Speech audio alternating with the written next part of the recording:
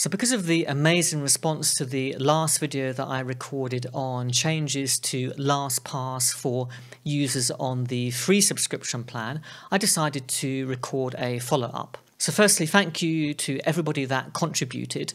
In that video, I offered a couple of recommendations for users that want to move away from LastPass, and they were Bitwarden and the Microsoft Authenticator app. And if you didn't catch that video, I'll put a link down in the description below.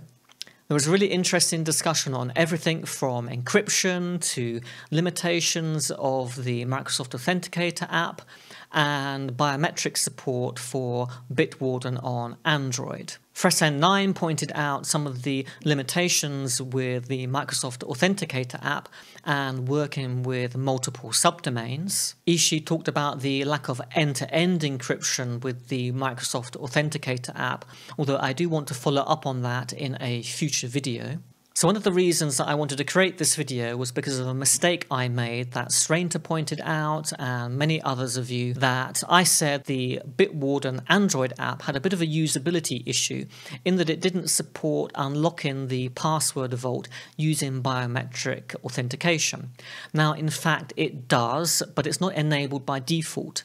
So you need to go into the app and in settings under security, you can change it so that you can unlock your password vault using biometrics. So that means a fingerprint or maybe facial recognition, whatever your device supports. And of course, that's important because, especially when you're using a mobile device, you don't want to have to type in a long and complex master password every time that you want to unlock your vault. So, I just wanted to set that straight in this video.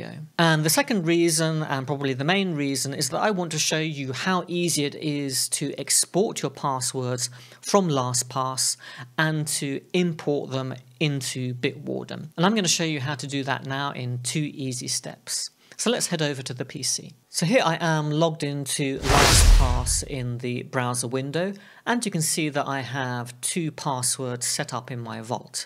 So I want to export them. And all I need to do is come down to advanced options in the bottom left hand side of the screen and click on it and under Manage Your Vault, I've now got the option to export the passwords. So I'm going to click Export and a new browser tab will open up. And before I can export the passwords, I need to confirm my LastPass master password. So I'm going to confirm that here by typing it into the box. And now all I need to do is hit submit.